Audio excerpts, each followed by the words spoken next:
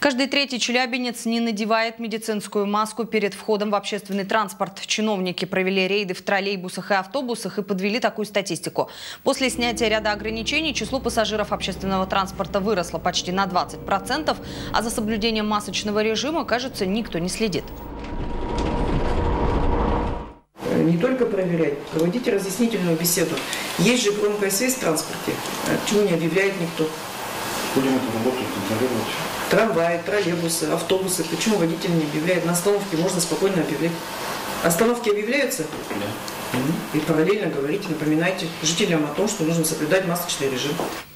Многие челябинцы также забывают надевать маски и перед входом в магазины. На прошлой неделе сотрудники Министерства общественной безопасности провели несколько рейдов, после чего вынесли устные предупреждения. В пятницу двум продавцам в пласте выписали штраф по одной тысяче рублей за работу без средств индивидуальной защиты.